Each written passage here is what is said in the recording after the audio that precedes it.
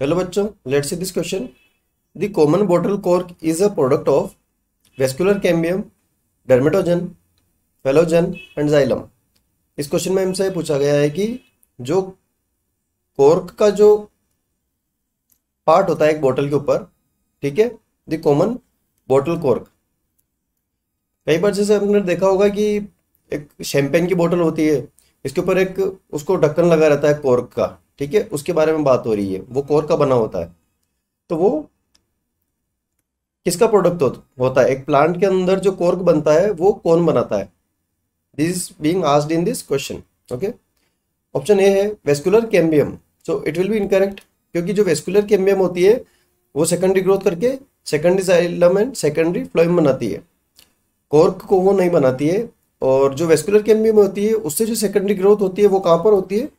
स्टिलर reason के अंदर होती है।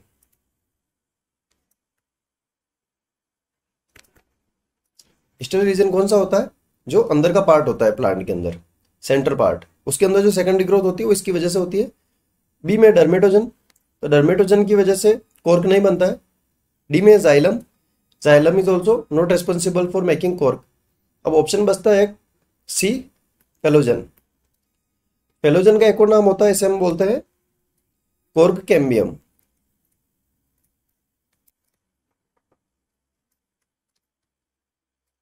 अब ये कोर्क कैम्बियम क्या करता है? आउटर साइड में क्या करता है ये? कोर्क का निर्माण करता है। जैसे कि फेलम भी बोलते हैं एंड इनर साइड में क्या करता है सेकेंडरी कोर्टेक्स बनाता है।